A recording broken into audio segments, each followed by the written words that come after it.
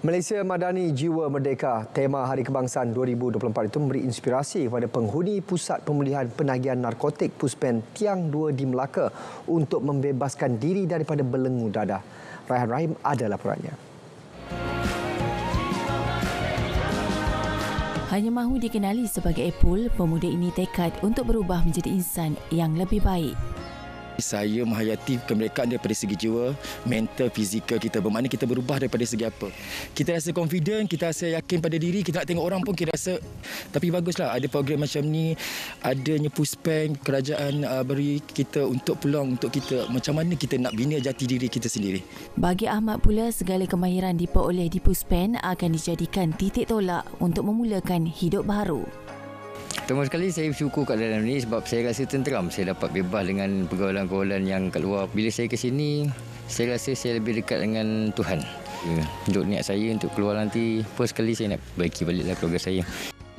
Mula terjebak dadah seawal usia 13 tahun, Amy pula sedia berdepan dunia luar meski sedar persepsi negatif dilontar segelintir masyarakat. Paling penting, sokongan keluarga menjadi motivasi untuknya menjadi insan berguna saya dah nikah saya tak akan ulang kesilapan ni. Uh, dan saya telah pun merdeka selama 13 bulan dan saya akan kekalkan kemerdekaan ni sampai keluar.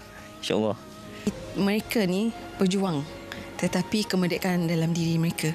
Uh, cuma uh, bezanya adalah mereka kena lalui secara individu. Dia bukan macam ramai-ramai kita dekat luar, uh, kita raih lepas tu merdeka. Tak, tapi sebenarnya satu perjuangan yang berterusan. Uh, mereka boleh dikirakan merdeka jika mereka pulih. 100%.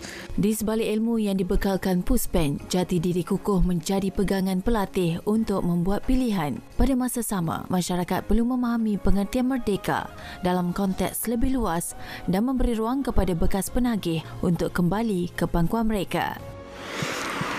Membebaskan diri daripada najis dadah dan bahan terlarang adalah erti kemerdekaan sebenar bagi klien di Pusat Pemulihan Penagihan Narkotik.